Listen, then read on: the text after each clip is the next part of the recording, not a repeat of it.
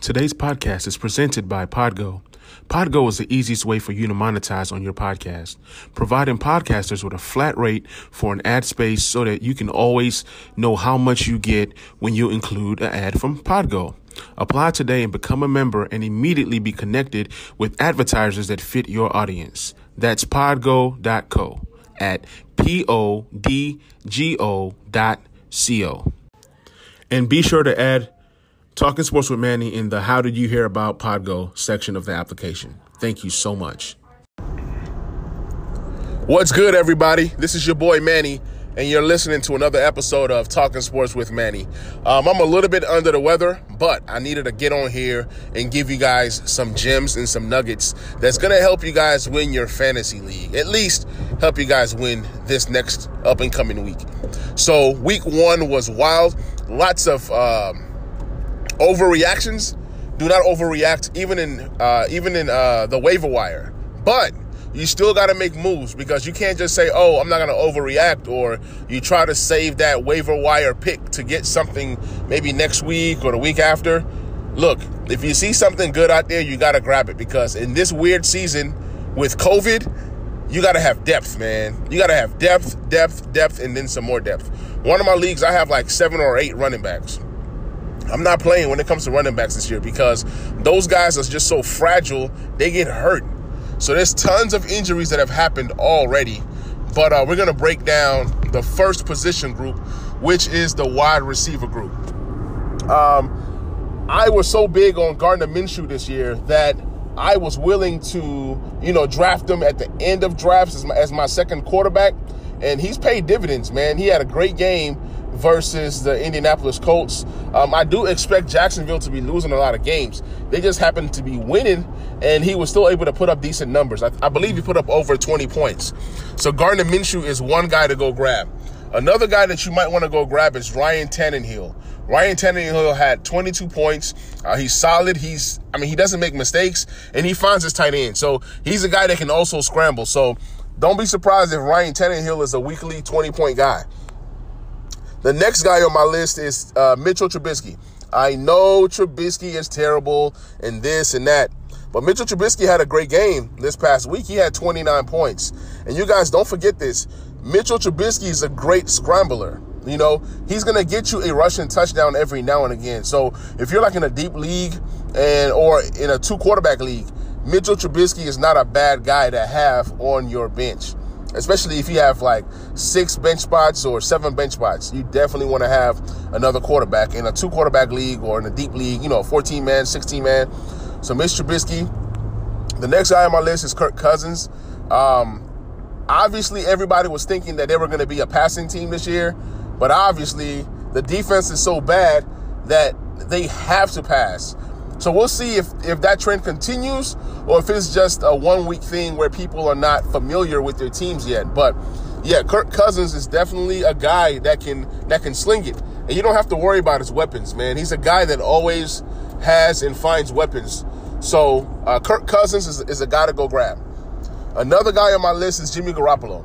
Jimmy Garoppolo is a capable fantasy guy. If you look at his numbers last year, over 4,000 yards and I think close to 30 touchdowns. So Jimmy Garoppolo, even though that they are in a Russian offense, he's going to throw lots of screens and dump offs to guys like uh, Mostert, who's now catching passes, and McKinnon. So you guys go grab uh, Jimmy Garoppolo. He has two good tight ends that can receive the ball.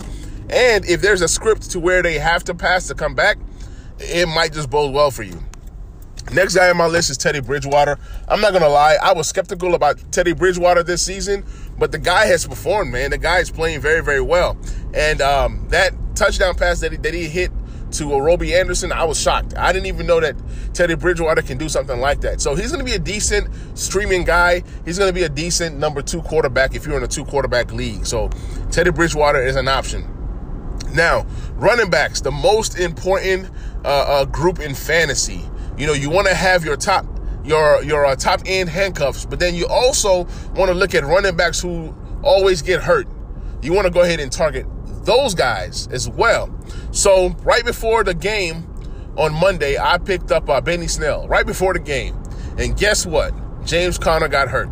So James Conner is uh, out here. I mean, uh, James uh, James Conner, his um, his X-rays came back positive. So we don't know how long he's going to be out. But then, even at that, I still don't trust Conner, man. And all this guy did, Benny Snell, was he came in, he rushed the ball 19 times for 113 yards.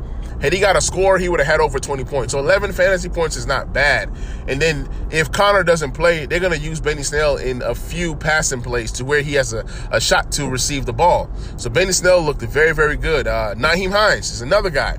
I understand that Jonathan Taylor is out there, but Nyheim Hines is going to be a guy that's going to be a PPR monster. We all already knew that he was a great pass catcher out the backfield, but now you're playing with Philip Rivers, a guy who likes to throw 30% of his passes to uh, running backs. Well, it just bodes well. Look what it, look look at what he did with Ekeler. Look at what he did with Melvin Gordon. Now Nyheim Hines. So Nyheim Hines had a lot of targets.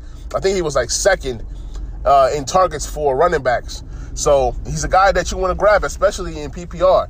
Don't worry about Jonathan Taylor. There's enough uh, footballs to go around between Jonathan Taylor and Nyheim Hines. Also, Malcolm Brown. Malcolm Brown, man, welcome to the NFL. Malcolm Brown, he's part of that three-headed monster, uh, not monster, but you know, that three-headed uh, uh, running back by committee that the Rams have. So he played very well. I'm not gonna lie. He shocked the mess out of me. He had 52 yards rushing, and uh, he had, uh, I believe, two touchdowns. Uh, or maybe he received a touchdown, but I know he ended up with two touchdowns. Um, and, um, you know, he looked very, very good. He looked very, very good. So he's definitely a guy that you want to grab. I, am uh, sorry. He got over 52 yards. I think it was about close to 80 yards and two touchdowns. But yeah, Malcolm Brown, he seems to be the favorite in that offense. And the offense flipped the script and actually became a running offense. So that just bolted well for Malcolm Brown that week. I think that Malcolm Brown is the guy, at least for the first six weeks to seven weeks of the season, before Cam Akers can take that job, if he can. Next guy on my list is Joshua Kelly. Joshua Kelly is obviously the number two running back on that team. He's going to be the guy getting all the goal line carries. So there's upside there. And then as the season goes on, we'll see if he'll be able to uh, get into some of the passing game or some of the third down uh, role.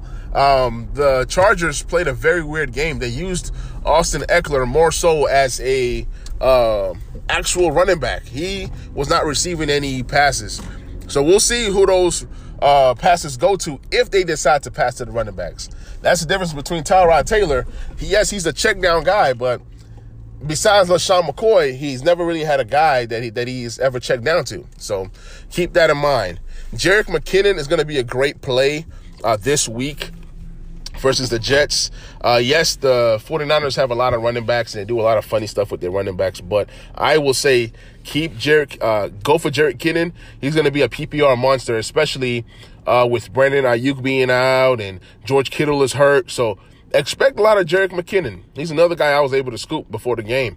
Uh, Darrel Williams is an option. It seems like he's going to be getting a lot of the uh, passing plays for the chart uh, for the Chiefs. And if Clyde Edwards-Helaire ever goes down, or starts playing bad, which I doubt would happen, then there's major upside. Adrian Peterson is a guy that you go grab. Uh, all he does is produce. He had 93 yards rushing and 21 yards receiving, three receptions, 14 points. That's very, very solid. Frank Gore. Frank Gore is now back in fantasy relevant again. Uh, with no Le'Veon Bell, Frank Gore is the guy you want to go grab. Myles Gaskins is out there because we don't know what's going on in in uh, Miami land. So you never know. You never know. He might end up being a running back and not Jordan Howard or um, Breida. So Peyton Barber seems to have a role with the Washington football team. It seems to be the he seems to be the back that everybody trusts. He's going to be that guy that's going to be getting touchdowns left and right. So you might want to go grab Peyton Barber right now because of the touchdown upside. Corey Clement because of the injury to Miles Sanders. We don't know when he's coming back. And then you want to go grab Carlos Hyde because Carson has that injury history and that fumbling history. So it's just good to have a guy like Hyde. Rex Burkhead is out there just in case. So those are my running backs that I'm looking at, the running backs that I'm interested in, the running backs that are most intriguing to me. Hey, guy, this is your boy Manny. Ever wanted to make a podcast, but you never really knew how? Anchor is the key. It's free. There's creation tools that allow you to record your podcast right from your phone or computer. Anchor will distribute your podcast to places such as Spotify, Apple Podcast, and many more. Also, you can make money from your podcast right away. You don't need no minimum listenership to start making money. Everything that you need to make a podcast all in one place. So go ahead and get started today. Download the Anchor app at the App Store or go to anchor.fm to get started. All right, guys, the next position group that I want to get into is the wide receiver group. The wide receiver group, there's always so many wide receivers. There's a lot of them that, that just come out of nowhere every single year. So you don't have to go draft, you know, top tier wide receivers. Yes, it's nice to have the DeVante Parkers and the DeAndre Hopkins kind of guys. But if you miss out on those guys, you can always find these guys on the waiver wire. Last year it was Terry McLaurin. Last year it was uh, DJ Chark and and Slayton and Deebo and a lot of these rookies. But this year, so far, you got a guy like Anthony Miller. He's going to eat because with all the attention that's coming on Allen Robinson. Speaking of Allen Robinson, there's a potential that he gets traded. So for those of you guys who drafted Allen Robinson, you just better pray and hope that he goes to the right situation, or I mean, it can work for you or or work against you. And if uh, Allen Robinson leaves, that now means that Anthony Miller is the number one receiver. So keep that in mind. If he's out there, go and grab him. Um, Laviska Shenault is another guy. Lots of upside, lots of potential. Um, he can do it all. He's really a running back in a wide receiver's body. So right now that it's just week one, go get him because after he blows up week two, he might not be out there again. Um, then a guy like Parris Campbell, he has shown to be uh, one of Philip Rivers' favorite uh, targets. So most definitely Parris Campbell, he's out there and he's healthy this year. Uh, Allen Lazard, a guy that you might want to go grab now before he blows up. I mean, Green Bay has turned into a passing team again. I don't know if it was just because of the Minnesota Vikings, but I mean, Allen, Allen Lazard has a lot of talent, and for them not to draft a wide receiver, that means that they believe in Allen Lazard. Russell Gage. Russell Gage is the guy who came in last year and made a splash and played well when Julio or Ridley were not available to play. This particular game, this dude got mad targets. He was able to get 12 targets on a team that has Julio and Calvin Ridley. All three Falcons receivers all had over 100 yards receiving. So Russell Gage can be a nice little number three wide receiver that has some number two upside certain weeks. So you want to kind of grab him and kind of see what happens. And if Julio or Ridley, if Julio or Ridley ever goes down, then man, you got yourself a gem. Uh, Russell Gage is definitely in play for deep leagues. Perfect guy for uh, deep leagues. Then you have Robbie Anderson. Robbie Anderson, man, I was skeptical, just like Bridgewater, but he was able to produce. You know, he had over 100 yards uh, receiving. He had a touchdown. He had six catches. Uh, he had over like close to 20 points. So that's definitely something that you want to uh, uh, have. He's definitely a guy you want to have uh, going forward because, I mean, if he has weeks like this, now I know his Robbie Anderson's thing has always been inconsistency, but who knows if he's consistent? I mean, he outplayed DJ Moore. Why not give it a try and and see if, if this is somewhat going to be consistent through the season? Because if it is, then you got yourself a gem. I'm not saying he's going to be the number one receiver, but to me, I'm just not a DJ Moore fan. So why not give Robbie Anderson a chance to see what happens? Mike Williams. This is a guy that I'm liking what he's doing with Tyrod Taylor. He's looking really, really good. I mean, he's making some nice, crazy catches. And he had nine targets last game. I'm pretty sure that as, as the season goes on, they're going to connect even more. So, guys, go grab Mike Williams if he's available in free agency uh, Mar uh, Marquez Valdes Scantling. Uh, this is a guy that he's so inconsistent up and down, but when he's on, he's on. He had four catches for 91 yards and a touchdown, 19 points. 19 points is not bad. So that's another guy you want to keep an eye on. Between him and uh, Lazard, one of them is really gonna lock up that number two wide receiver spot and really, really, really get a lot of targets moving forward. N'Keal Harry, is he's like a buy low candidate. You might want to get him now if he's out there and just kind of wait on it. You know, if you have space on your bench, just stash him and see how that unfolds. Corey Davis shocked the mess out of me, man. He looked very, very good. He had 101 uh, yards, uh, had seven catches for 17 points. That's not bad. I mean, AJ Brown is getting covered, double team, so it's really opening up a lot of things for Corey Davis. Then you have Scotty Miller. You guys know that Tom Brady loves his slot guys, so he was able to get five catches for 73 yards.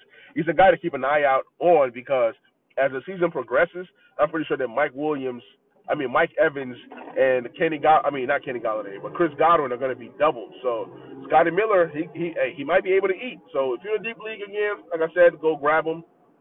Perfect for deep leagues. Danny Amendola, with all the injury issues that they have going on out there, um, he's definitely a guy uh, to go grab. Now I'm gonna give you guys one more. Quintez Cephus. I've been on this guy tough. I got this guy in Dynasty. Like this is like my secret weapon, man. My secret weapon. Because next year when if Golladay leaves and if Marvin Jones leaves and if Amendola leaves, I mean who else is on the roster but Quintez Cephus.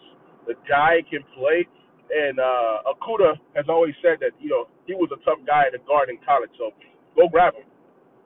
Let's hop into the tight ends. Dallas Goedert is the tight end one right now as it stands in fantasy. Not Zach Ertz, not Gronkowski, not uh Ertz. I mean uh, Kelce and some of these uh, uh top tier. Not even Mark Andrews. Mark Andrews is second by two points, but Dallas Goedert is going to eat in this offense until the Eagles have experienced wide receivers or healthy wide receivers. So until then, Dallas Goedert is going to be playing behind Ertz, but he's going to be getting a lot of targets. He's literally playing that slot wide receiver role, but as a tight end. So you want to go ahead and grab him. Uh, for me, in my deeper leagues and my fantasy leagues and keeper leagues, I drafted Dallas Goedert as my number two tight end every single time, and it is going to pay dividends for me when I'm starting him next week all across the board. And uh, let's see if he can keep this going. Also, on the list as a tight end. Uh, Logan Thomas. Now I know he plays for the Washington football team, and a lot of people are not are down on the Washington football team. But Logan Thomas, hey, he got a lot of targets, man. He got eight targets. He was like top three in targets for tight ends this week. So Dwayne Haskins loves him. He's a safety valve, and he's going to be touchdown dependent a lot. But at the same time, you know, he's definitely a guy that can uh, do some damage as the season goes on. So why not buy low right now? Chris Herndon is out there, uh, Jimmy Graham, uh, Greg Olsen. Greg Olsen I like because Russell Wilson loves his tight end, so you can expect Greg Olsen to mess around and get seven, seven or eight touchdowns. He's way better than Dissly to me, even at this age. So he's definitely a guy that can benefit off of Kirk Cousins. OJ Howard. I'm not a big fan of OJ Howard, but guess what? When you got another uh, uh, quarterback who loves his tight ends, you know, and like if you're in a deep league, who knows? Maybe OJ Howard gets more gets more shine than Gronkowski. Who knows? Brady loves his tight ends. You can see two or three tight end sets. He loves them. So why not give a flyer on OJ Howard and see how it unfolds the next two to three weeks? If he sucks again, you drop him. Hey, we suck again. You know, drop him. Uh, Jordan Akins, he's a guy. Him and Darren Fells for the Houston Texans. One of those two guys is going to blow up. I just don't know who it's going to be. So those are guys you want to grab from the tight end position. Now let's hit up the defense uh, position. Uh, it's a very, very, very important position in fantasy football. This can win you your league many, many, many, many, many times again. The Titans. The Titans didn't play well this past Monday night, but guess what, man? There's there's there's still a chance and there's still hope. So I would say grab the Titans right now that they're still low. Um, the Packers have a potential to be decent versus the uh, versus the Lions, especially if Kenny Golladay misses another game. Uh, the Cardinals versus Washington. Uh, I know I'm a Washington fan, but you know if the offense does not pick up, the Cardinals will be a good streaming uh, defense. Now, it's just all up to Washington. Washington does have a great defense. If Washington runs the ball, then it can be a low scoring game. So in a in a in a league where there's like you know seven zero zero to seven points or seven to thirteen points, you get a certain amount of points. Um, this game versus Arizona is going to be good. Uh, Arizona is a very good team, so we'll see if they can apply pressure to Dwayne Haskins and exploit the Washington football offensive line. Uh, Chandler Jones scares me. Me being a Washington fan, it scares me, but the Arizona Cardinals are not a bad option um, as a streamer. I'm not one of those kinds of people who say, don't stream nothing against my team. No, if it's a good matchup, I'll even play people against my team. I don't care. It's fantasy football. There's a difference between fantasy football and real life football. Okay? I could be cheering for the Cardinals defense to, to do well, but cheering for the Washington football team to win the game. So I don't care. But yeah, the Cardinals are a good play uh, this week. Then for the kickers, you got Chris Boswell for the uh, Pittsburgh Steelers versus Denver. You have Mason Crosby, who right now is in a high-powered, high-geared offense.